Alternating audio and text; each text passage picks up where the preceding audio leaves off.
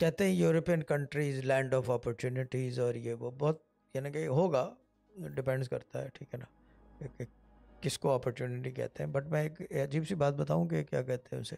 Middle east जो है ना there doors are open the doors are open the doors are open और open होने की वजह यह है कि क्या कहते हैं उसको? यही इस्लाम की रिवायतें हैं। ये इस्लाम की रिवायतें हैं। मैं जब कहता हूँ कि हमारे तायब्बा का दरवाज़ा खुला होता था, आप लोगों के घर चले जाओ, जो इस तरह के लोग होते हैं, जो यानी कि who believe in helping others this is helping others their doors are open and they want you to work there and improve your life style in your own country कोई ये नहीं कि वो आपको ज़बरदस्ती के सब आके यहाँ धर जाओ और सर पे बैठ जाओ। नहीं, आप जहाँ हो, वहाँ पे अपने बच्चों को पालो, उनको तालीम दो, तरबियत दो और ये वो, ये ये their arms are open as long as you play it right if you play it wrong you